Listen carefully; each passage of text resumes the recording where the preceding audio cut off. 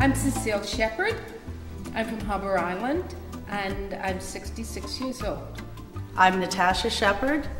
Cecile's my mother, and I'm from Harbour Island, Eleuthera, and I'm 40 years old. Two years ago, I had a slight pain on the right side of my leg, and it got progressively worse. It started to go into the foot area, then I couldn't bend over, I couldn't walk, I couldn't basically do anything. One day I was working in a store in Harbour Island and a customer came in and saw me bent over. I would look like the hunchback of Notre Dame, I'm sure. And she said, Oh, you must seem a friend of mine. He's here on a boat. He worked on my husband, and I would like very much for you to see him because he helped my husband's immediately. And my husband's doing so much better. So I said, Okay, fine.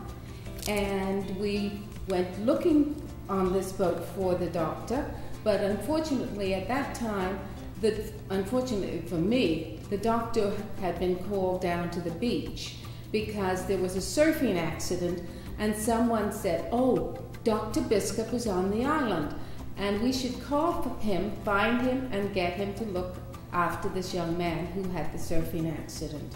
I then uh, made some inquiries about him, and he looked at me and he said, "Cecile." the way you're hunched over there, I could fix you so quickly and, and make you so much better. And I said, okay, let's do it.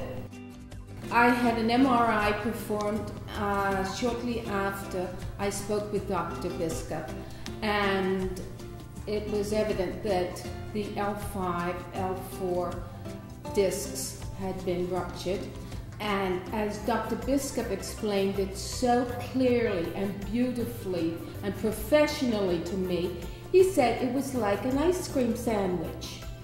You squeeze it, the ice cream comes out. That's what a herniated disc looked like. And I'll just go in and plop, plop off the ice cream. And that's what was causing the pain because it was hitting the nerve. And I then was asked by several of my friends whether I should look into other surgeons. And I had such a good feeling about Dr. Biscup, I knew immediately that he was the one for me. After making the decision to come over to Florida to have the operation, I started envisioning what this operation was going to entail.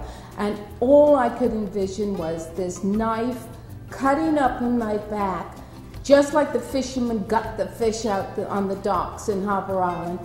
And I explained this to Dr. Biscup, and he laughed and said, Oh no, this is, is going, to, going to be a little tiny incision. It's, I'm going to do it all by laser, and you're not ever going to see anything afterwards.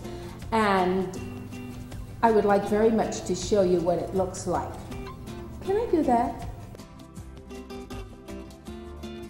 I had the operation. My daughter Natasha was with me, and I spent one night in hospital. The next day I went home, and two days later I was at the World Conference Orchid Show. I was in a wheelchair. My daughter pushed me around, but I was able to get out and walk a bit. At the, and then when I turned and looked at her every now and then, she was sitting in the wheelchair, and a cousin of ours was pushing her. But I never took one pill. I didn't have any pain afterwards.